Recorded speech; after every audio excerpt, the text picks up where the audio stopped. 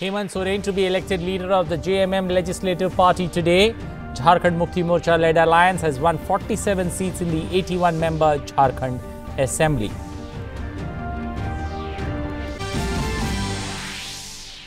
Pro Citizenship Amendment Act rallies in several cities all across the country. Addressing a rally in Kolkata, BJP Working President JP Nadda says no one should worry about the legislation. Calcutta High Court directs Mamta government to stop anti-citizenship legislation advertisements.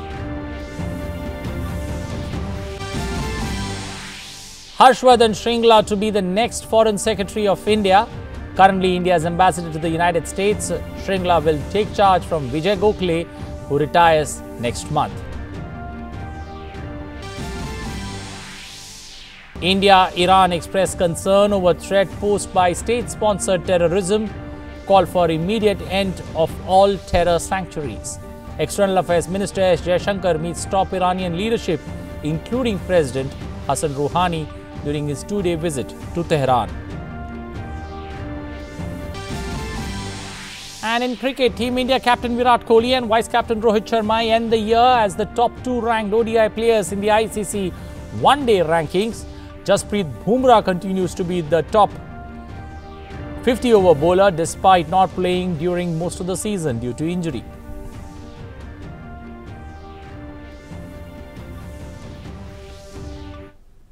Good morning. Headlines at half past 10. I am Anil Thomas. Now for the stories in detail. JMM Legislative Party will meet today in Ranchi to elect its leader. The meeting will be held under the chairmanship of the party president Shibu Soren. Jharkhand Mukti Morcha Executive President Hemant Soren is likely to be elected as the legislative party leader and most likely to be the next chief minister of the state of Jharkhand. JMM Congress RJD alliance won 47 seats in the 81 member assembly. BJP won 25 seats in this assembly election with uh, Chief Minister Raghubar Das himself losing from Jamshedpur East constituency. He took responsibility for the party's loss. Prime Minister Narendra Modi has congratulated the JMM leader Hemant Soren and JMM-led alliance for the victory in the Jharkhand polls. Prime Minister Modi said his party would continue serving the state and raising people-centric issues.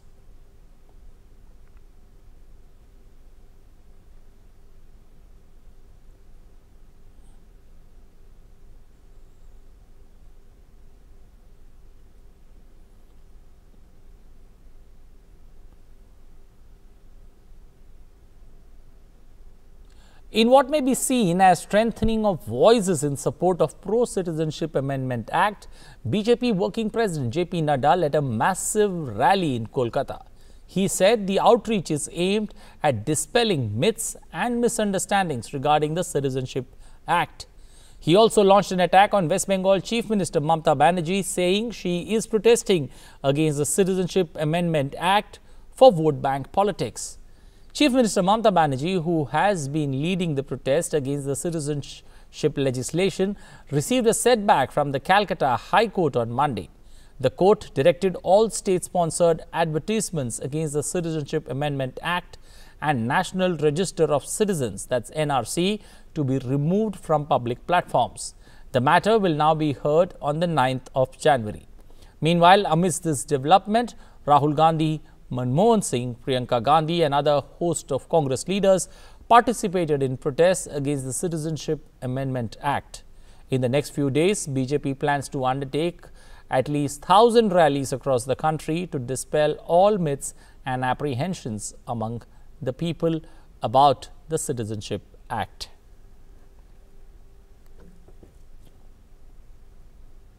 Bollywood actress Kangana Ranaut has said that indulging in violence over citizenship amendment bill is not a very reasonable thing to do in a democracy like India.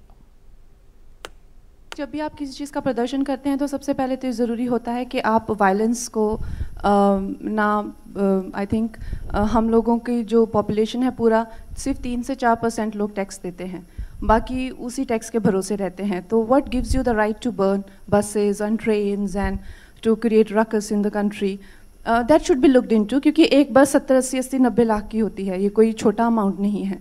और जो देश की हालत है जितने लोग भूखमरी से मर रहे हैं एंड जितना लोग मेल uh, न्यूट्रिशन से मर रहे हैं it's not very reasonable for people to you know do indulge in violence Union Home Minister Amit Shah has said that the government headed by Prime Minister Narendra Modi is committed to completely wipe out terrorism, left-wing extremism and insurgency in the northeast in the next five years.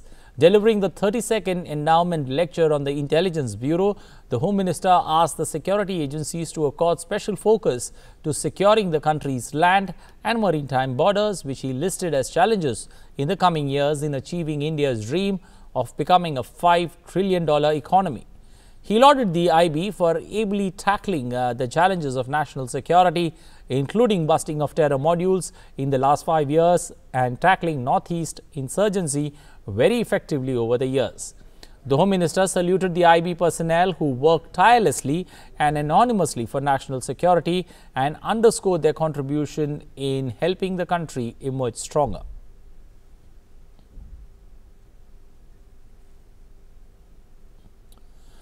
The 19th India-Iran Joint Commission meeting uh, was uh, held uh, and External Affairs Minister S. Jaishankar met top Iranian leadership, including President Hassan Rouhani, during his two-day visit to Tehran. During the meeting, the two ministers shared concerns at the grave threat posed by terrorism and called for immediate end to all support to terror sanctuaries. They agreed that state aid, abetment and support to terrorism should be condemned. Both sides expressed support for efforts to maintain peace, security and stability in the region. The leaders also reviewed and positively assessed the progress in bilateral cooperation, including connectivity, trade and commerce, cultural and people-to-people -people contacts. They also exchanged views on regional and global issues of mutual interest. Following his Iran visit, External Affairs Minister S. Jaishankar reached Muscat with an aim to forge stronger partnership with Oman. He was warmly welcomed by the minister responsible for foreign affairs of uh, Oman, Yusuf bin Alawi bin Abdullah. External Affairs Minister also held bilateral consultation in Muscat. Harshvardhan Shringla, India's ambassador to the United States, has been appointed as the new Foreign Secretary. Shringla is a 1984 batch officer of the Indian Foreign Service. He will take over the charge of the Foreign Secretary of the post of Foreign Secretary on January 29th after incumbent Vijay Keshav Gokhale's two-year term ends. The appointment has been cleared by the Appointments Committee of the Cabinet headed by the Prime Minister Narendra Modi.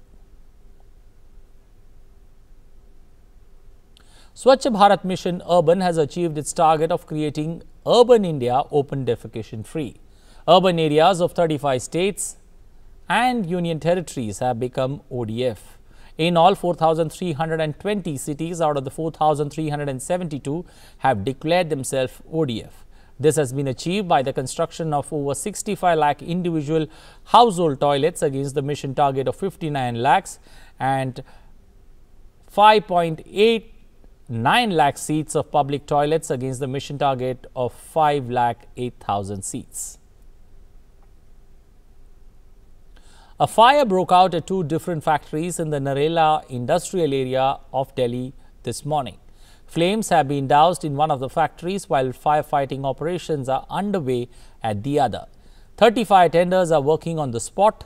No casualty has been reported from the factory while three persons are believed to be injured.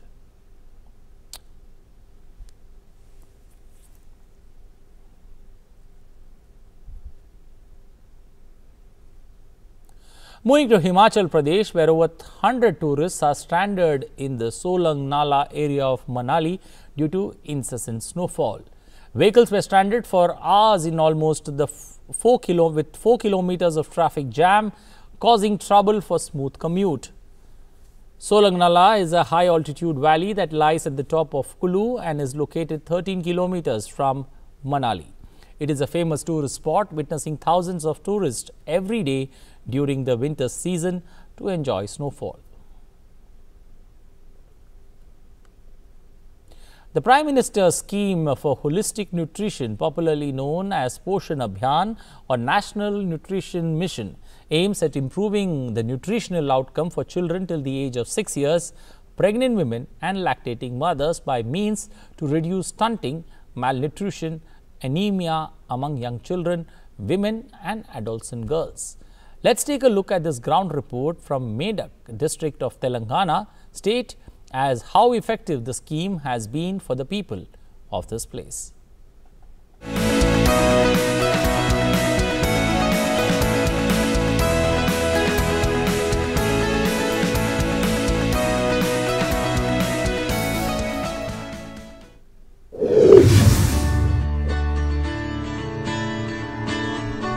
Under central government's Poshan Abhiyan, essential nutrition is being provided to children, pregnant and nursing mothers through Anganwadi and health centers across the country.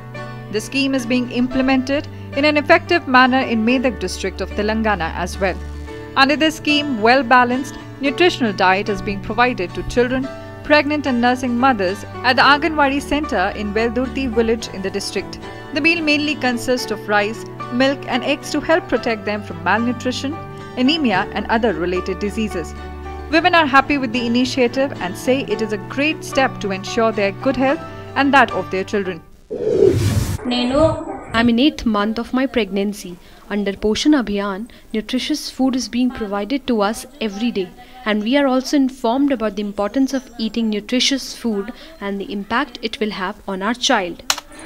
అన్నం తీసుకొని తింటున్నాను నేను first గర్భవతినే I live in Veldurti village in Medak. I am currently in my 7th month. To take care of our nutritional needs, rice, milk, eggs are being given to me every day for a better health of my child and me. Poshan Abhiyan is transforming the lives of children, adolescent girls, pregnant and lactating mothers in Medak district of Telangana by providing the essential daily nutritional requirements the scheme also aims at protecting women and children from anemia. The scheme is surely bringing smiles to the faces of mothers and children in the district. Bureau Report, DD News.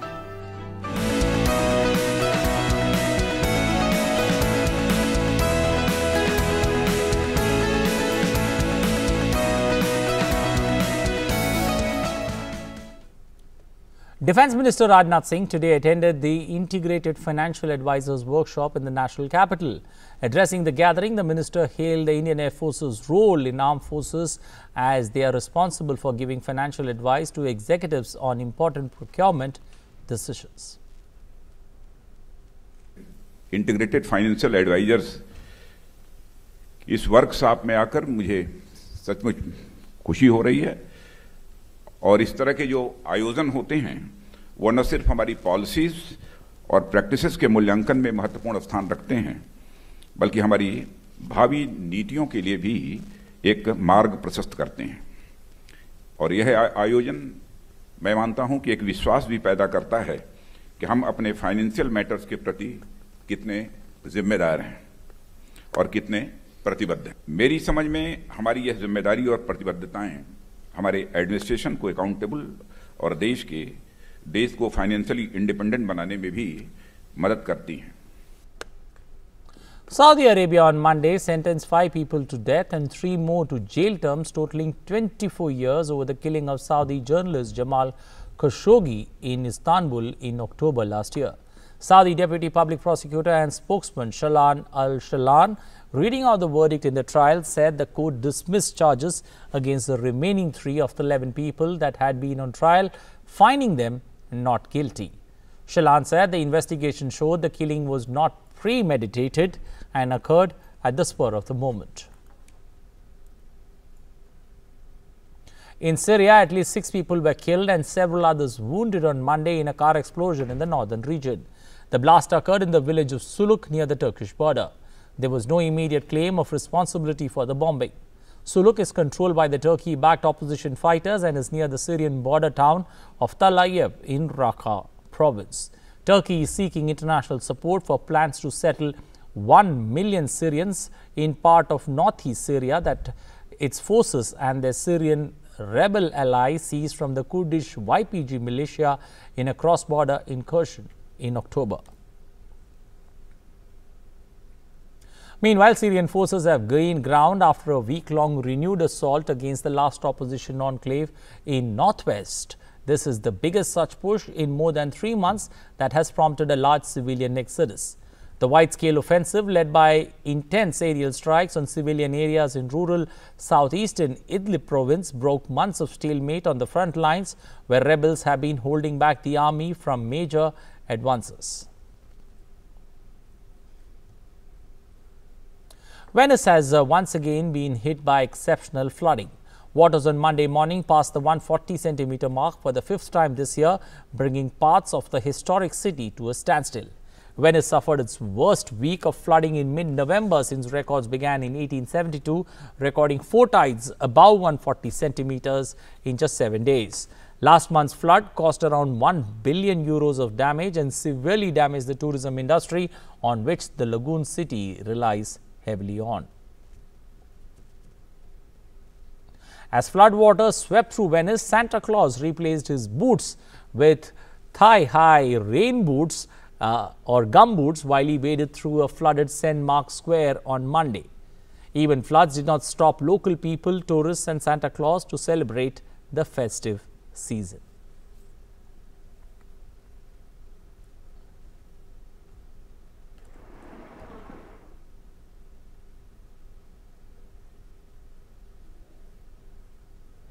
Notre Dame Cathedral in Paris will not hold the Christmas service this week for the first time in over two centuries. The Paris Cathedral, which suffered a devastating fire this year, is still closed to the public as reconstruction efforts slowly get underway. French President Emmanuel Macron has set a timetable of five years to completely repair the structure. Workers are currently erecting a 200-foot crane that will loom above the cathedral to help finalize the operations needed to stabilize the wielded building.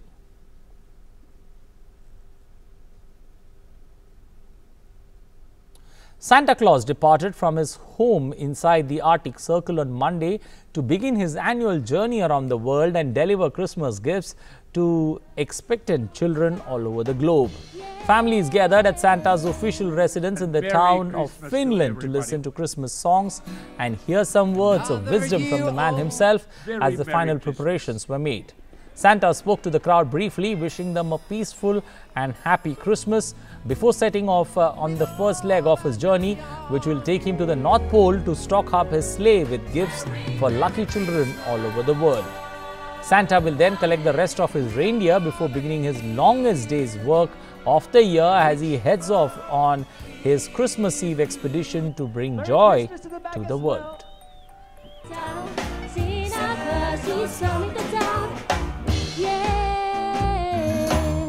And Merry Christmas to everybody. Another year old. Very Merry Christmas. Season of cheer and joy. Moving now to sports, Indian skipper Virat Kohli and opener Rohit Sharma ended the year on a glorious note after remaining static at the first and second position in the ICC ODI ranking for batsmen. Kohli had 887 points to his name. Rohit followed him at uh, with 873. Among the bowlers, Jasprit Bumrah, whose last ODI was at the ICC World Cup in 2019, finished as the top-ranked bowler. New Zealand left-arm pacer Trent Boult is second in the rankings, followed by Mujibur Rahman of Bangladesh at number three. The BCCI selection committee led by MSK Prasad on Monday announced India's T20 and ODI squads for the upcoming home series against Sri Lanka and Australia respectively. A fit again, Jasprit Bumrah made a return in both the squads while Vice Captain Rohit Sharma was rested for the T20 series versus Sri Lanka. Senior opener Shikhar Dhawan was also back in both the squads, while pacer Mohammad Shami got a break from the T20 series. India will face Sri Lanka in three T20s from January 5th, followed by three ODIs against Australia starting from January 14th. Meanwhile, Deepak Chahar, who aggravated his back injury in the second ODI against Windies, will be out till the start of next year's IPL. Indian weightlifter Rakhi Haldar with, uh, was with creating two national records, clinched a bronze medal in the women's 64 kg weight category at the Qatar International Cup in Doha. The Commonwealth Championship gold medalist superseded the senior national record in both snatch and the total lift with a personal best effort. At the Commonwealth Championship in June, Haldar had clinched the gold with a combined effort of 214 kilograms, including 94 and 120 in clean and jerk. India ended the Olympic qualifying silver level event uh, with three medals. Former world champion Mirabai Chanu had won the gold on the opening day, while teenager Jeremy Lalrinnunga had clinched the silver in a power pack performance. The points from this tournament will come in handy when the final rankings for the 2020 Tokyo Olympics are done.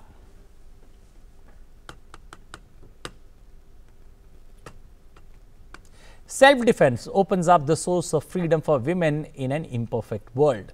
Building confidence in physical resistance skills allows women to feel more capable and more at peace. The Nirbhaya Karate Center in Karnataka is helping women in raising their voice by teaching them self-defense skills. Women are not only trained to fight against adverse situations, but also being trained to be mentally and physically strong. This organization for women endures or ensures that women should not feel like victim, rather combat any situation like a hero. By learning self-defense, they are feeling confident to fight back.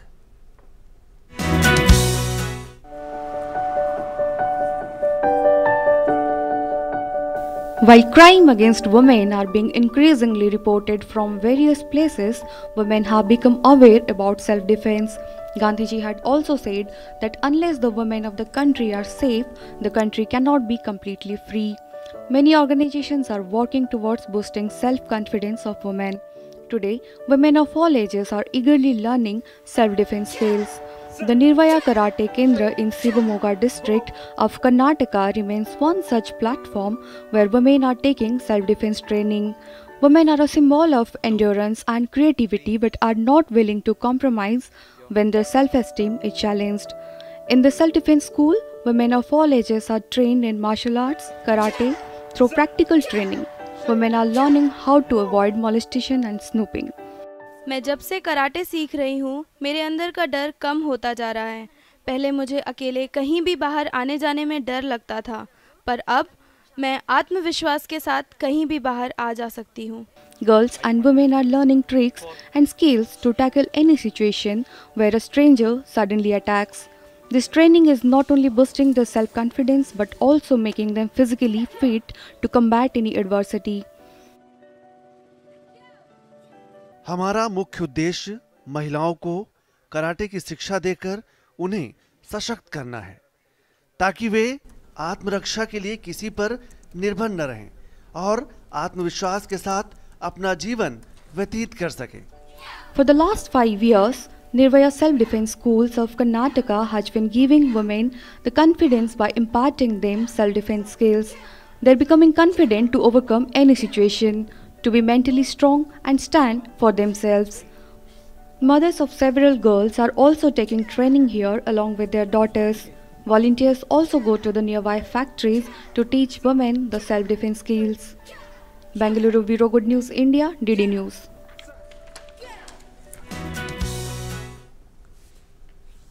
Well, that's all we have time for in this edition of News. Thanks for watching.